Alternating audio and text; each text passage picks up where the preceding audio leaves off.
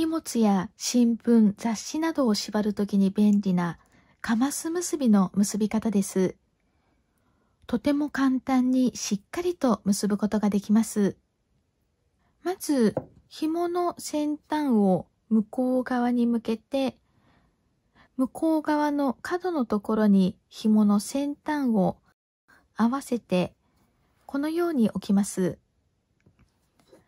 紐の本線の方を手前から向こうに回すようにして、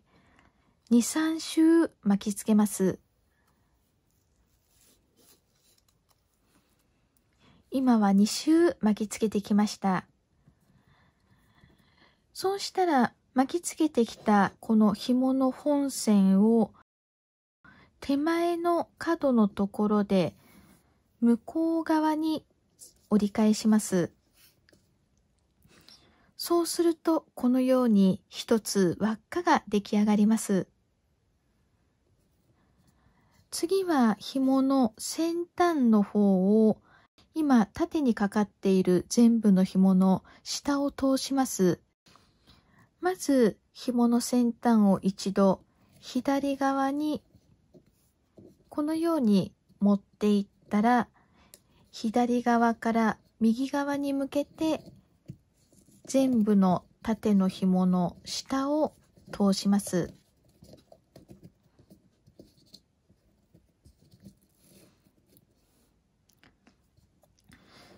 そうしたら、さっき作ったこの輪っかの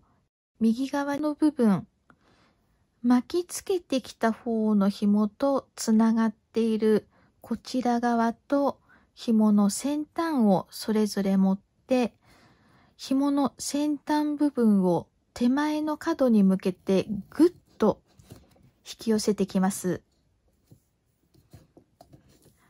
この紐の先端を引っ張りながら同時に輪っかの部分をしっかり突っ張っておくことで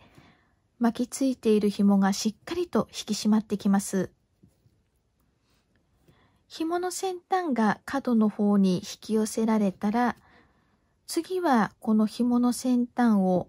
輪っかに下から通します。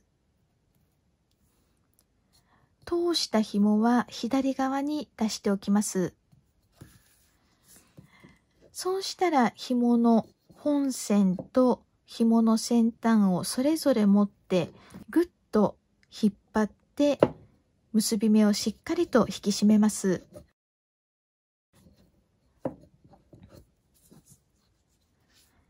はい。これでカマス結びの結び上がりです。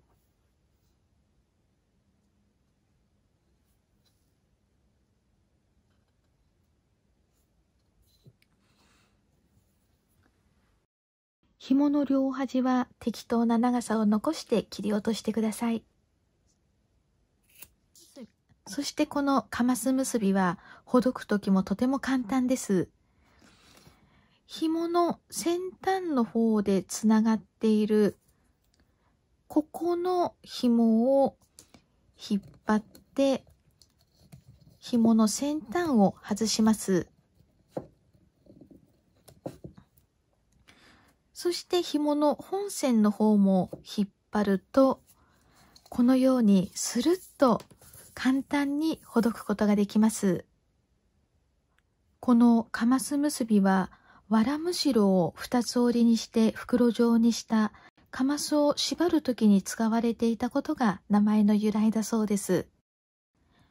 強度があって荷物を縛るときに便利な結び方です。結ぶのもほどくのも簡単なので束ねる荷物が増えた時もロープを切らずに結び直すことができます新聞雑誌や段ボールをまとめる時など日常的に活用範囲の広い結び方です。ぜひいろいろと活用してみてください。